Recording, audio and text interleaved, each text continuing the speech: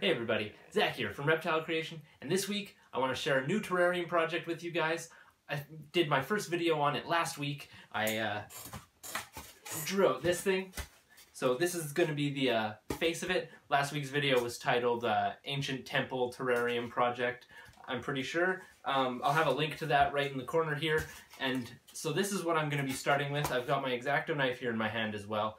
And uh, I just want to start carving this. Whenever you use a carving knife like this to uh, cut out styrofoam, if you're working on a project of your own, you want to be very careful. The, uh, the blades are very flimsy. They do bend quite a bit as uh, they will break as you work with them sometimes. So you always want to be cutting away from yourself. You never want to cut towards your own hand. So remember, you can get hurt doing this stuff. So uh, be careful.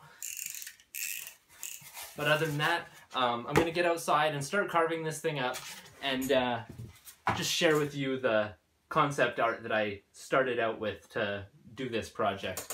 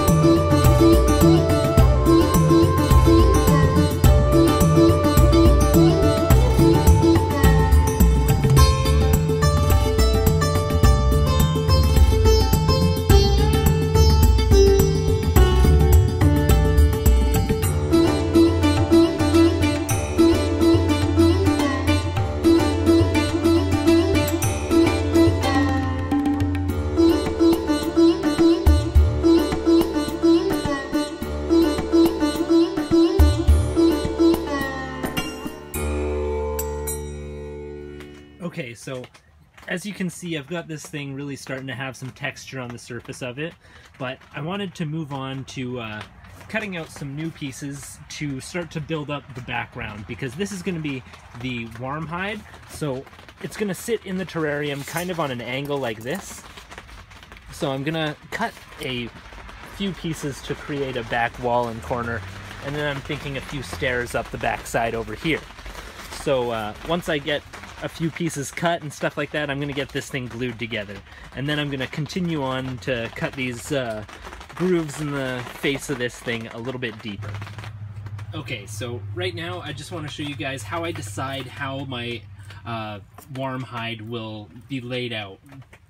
The way I do this is I figure out about how big my heat pad is going to be and I've got these two marks here. These are about where I want the edge of this thing sitting because uh, that's about how wide, about 10 to 12 inches is roughly how size, how wide the warm area is going to be in this terrarium. So I just sit this thing on those lines and then I trace the back edge of everything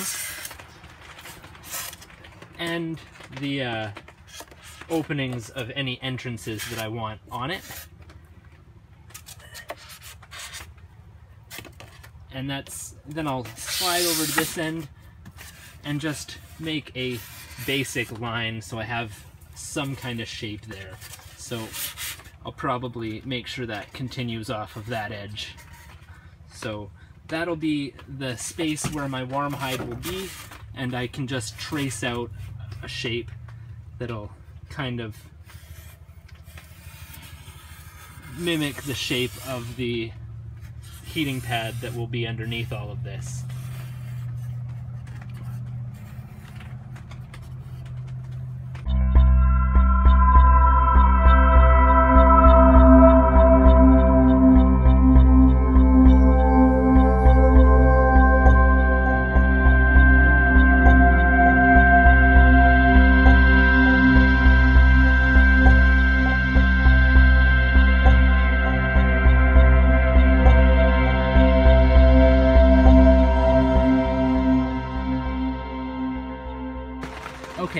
Now that you guys have seen me put this thing together, um, you've seen me carve out the face.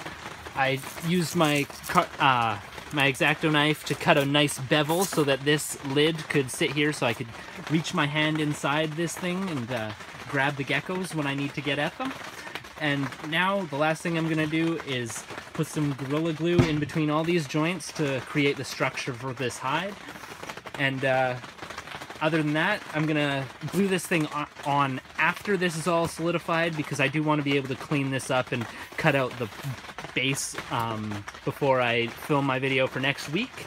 Um, but I did want to get these cuts in this face deeper and stuff like that. So that'll be, I'll show you that in next week's video when I do some sanding and cleaning up of all this stuff.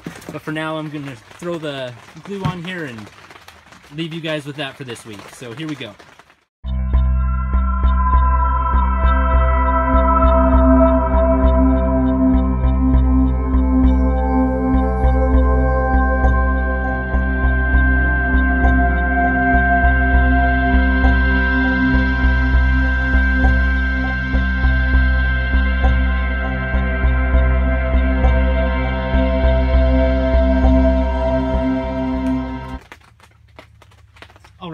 Put a few things on top of here just to weigh it down so nothing moves around while that glue's drying, and that's all I'm going to do for today, because I gotta wait for this to solidify, and then I can continue working on it. So I'll be filming in the meantime for next week's upload, getting all this texture into the face a little bit deeper, and I'll be sanding that up and bringing you some awesome stuff next week, so if you haven't already, make sure you like, comment, subscribe, do whatever you do to show me some love, and have a good one, guys.